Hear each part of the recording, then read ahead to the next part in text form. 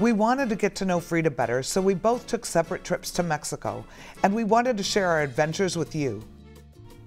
From the center of Mexico City, we took a wild cab ride to her home in Coyoacan, about 30 miles south from the center. Her house is called Casa Azul, the Blue House. It's U-shaped with a courtyard in the center, and you enter the living room through the courtyard in the back of the house, which is now a museum. Frida collected ex voto and retablo paintings, which are small paintings asking the Virgin of Guadalupe or a saint for help or healing. These paintings greatly influenced Frida's work. This is Frida's dining room. Notice all the hand-painted plates and bowls on the shelf? These were her everyday dishes. Famous people from around the world would visit the Blue House and join Diego and Frida at this table for dinner. Off of the dining room is Diego's room. Notice his hat and overalls on the hook? On the dresser are pre-Columbian statues which he collected. And here we can see his death mask. Off the dining room in a lower level is the kitchen. Along this wall you will see Frida put their names on the wall and the long counter you see is actually a wood burning stove. There are holes for wood or charcoal and Frida credited this style of cooking to great cuisine. Off the lower level kitchen are stairs both to the main home and all the way up to Frida's studio. Considering her physical challenges, it's amazing that she chooses to have her studio up this large staircase, but you'll see why in a minute. Here is Frida's studio. As you can tell, she loved to read and study. There is her large book collection on display. And here is the rest of her beautiful studio, flooded with natural light overlooking her beloved garden.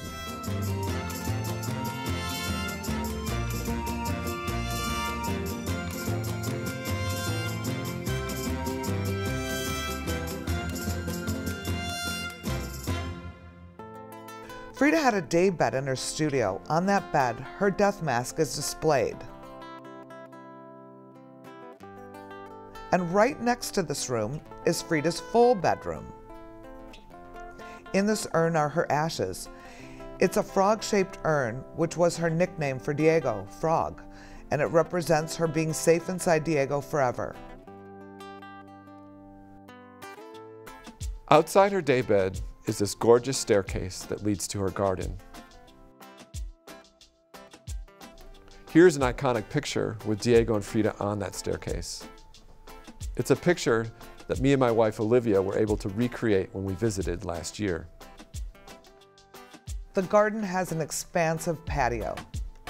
Diego created this pyramid for the garden to showcase his pre-Columbian statues.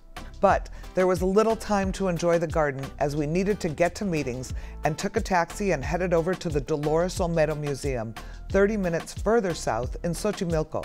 But not to worry, there are gorgeous gardens at the Olmedo as well.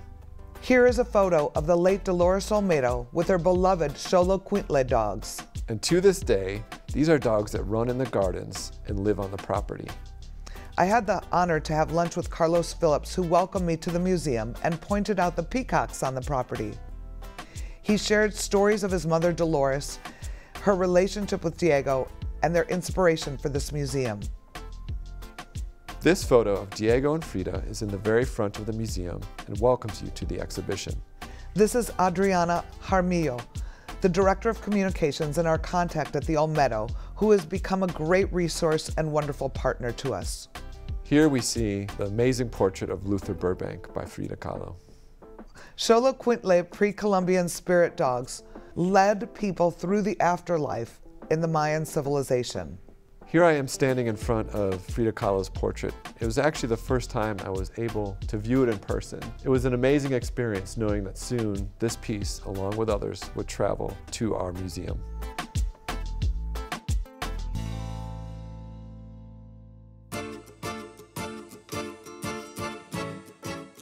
And then here is my wife Olivia and I as we left the beautiful Dolores Olmedo Museum.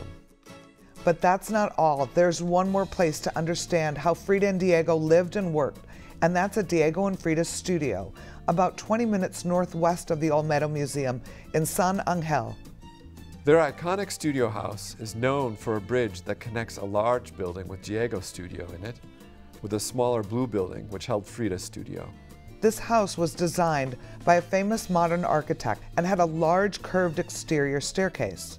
As you can see, Diego's studio is large, and bright, and playful, and the windows allowed him to lower sections of his murals from the second story to be delivered throughout the world. These skeleton-like figures are called Judas dolls and are papier-mâché effigies of traitors. They would be designed with the likeness of politicians who they felt betrayed them, and they would strap firecrackers to them and light them off during the Easter season. This is Diego's bedroom. As you can see, it's very sparse, with only a photo of Frida by his bed. Here is a photo of the infamous bridge that Frida crossed to go to Diego's side. And here I am crossing that bridge. Once over the bridge, Diego would walk down these narrow steps, and this is the view from those stairs. Here we see Frida's side of the house in her very simple bathroom. Perhaps this is what inspired this painting. This is the studio kitchen, which is far simpler than the Casa Azul, with only a small gas burner and sink. And here is Frida's studio at the San Angel home. Here's what it looked like while she was working. Above, we can see the painting Las Dos Fridas. The trips were so short, but there's always time for great food, seeing family and friends, and of course, making new friends.